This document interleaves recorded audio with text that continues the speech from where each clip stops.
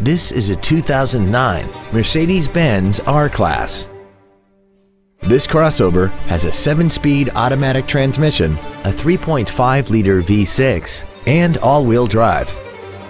Its top features include a sunroof, a power driver's seat, cruise control, a CD player, a leather-wrapped steering wheel, a double wishbone independent front suspension, aluminum wheels, a low tire pressure indicator, air conditioning with automatic climate control, and this vehicle has less than 45,000 miles.